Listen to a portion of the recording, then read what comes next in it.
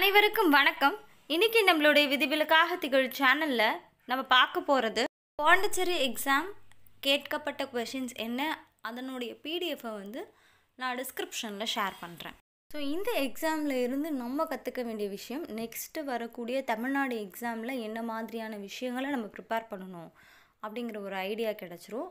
Pandi exam பொறுத்த வரைக்கும் நிறைய டேரக்ட் கொஷின்ஸ் கேட்டு ஏன்னா அந்த டேரக்ட் கொஷினுக்கான ஆன்சர் கூட நம்ம தெரியாமல் இருந்திருக்கலாம். இல்லை சில கொஷின்ஸ் நம்மளுக்கு தெரிஞ்சும் இருந்திருக்கலாம்.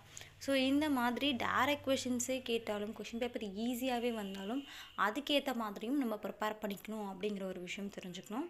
அடுத்து இந்த எக்ஸாம் ஈஸியாக கேட்டதுனால தமிழ்நாடு எக்ஸாமும் ஈஸியாக தான் கேட்பாங்க அப்படிங்கிற மாதிரியான ஒரு ஐடியாவை வந்து நம்ம யோசிக்க முடியாது. ஸோ தமிழ்நாடு எக்ஸாம் டஃப்பாகவும் இருக்கலாம். ஸோ ட தமிழ்நாடு எக்ஸாமுக்கு என்ன மாதிரிலாம் ப்ரிப்பேர் பண்ணணும்? தமிழ்நாடு எக்ஸாம் நோட்டிஃபிகேஷன் வந்துருச்சு. அது வந்து நைன்டீன் எயிட் ஃபிலிம்ஸ் எக்ஸாம்ஸ் இருக்குது அதே போல் மீன்ஸும் சரி இன்டர்வியூவும் சரி எல்லாமே வந்து இந்த இயர்க்குள்ளாவே கம்ப்ளீட் ஆகிற மாதிரி இருக்குது ஸோ நான் இந்த வருஷத்துக்குள்ளே என்னோடய லைஃப்பில் ஏதாவது ஒரு மாற்றம் கொண்டு வரணும் அப்படின்னு நினைக்கிறேன்.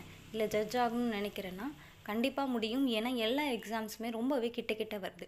ஸோ கிட்ட கிட்ட வருது அப்படிங்கிறதுனால ஒரு பயத்தோடு அதை யோசிக்காமல் கிட்ட வருது. ஸோ நம்ம சீக்கிரமாக போஸ்டிங் போகிறதுக்கு ஒரு வாய்ப்பு கிடைக்குது. இந்த டைமில் நம்ம என்ன செய்ய முடியும்?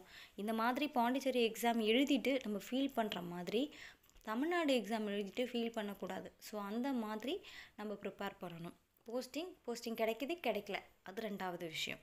ஸோ இன்றைக்கி ஜூன் சிக்ஸ் இல்லையா? ஸோ ஜூன் சிக்ஸில் இருந்து நம்ம எக்ஸாம் வரைக்கும் என்ன மாதிரியான ப்ரிப்பரேஷன்ஸ் இருக்க போது என்னென்ன மாதிரியான டைம் டேபிள் நம்ம ஃபிக்ஸ் பண்ண போகிறோம் அந்த வீடியோஸ்லாம் ரெகுலராக எப்படி போஸ்ட் ஆக போகுது?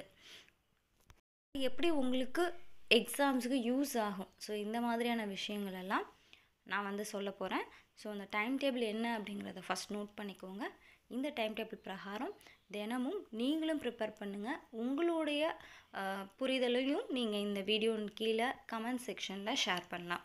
தமிழ்நாடு எக்ஸாம் நோட்டிஃபிகேஷனும் பாண்டிச்சேரி எக்ஸாம் கொஷின் பேப்பரும் கீழே இருக்க டிஸ்கிரிப்ஷன் பாக்ஸில் போடுறேன்.